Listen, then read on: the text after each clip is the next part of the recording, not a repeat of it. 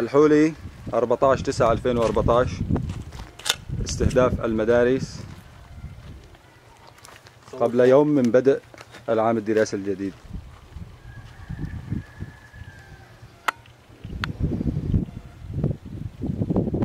تعرض تعرضت هذه المدرسة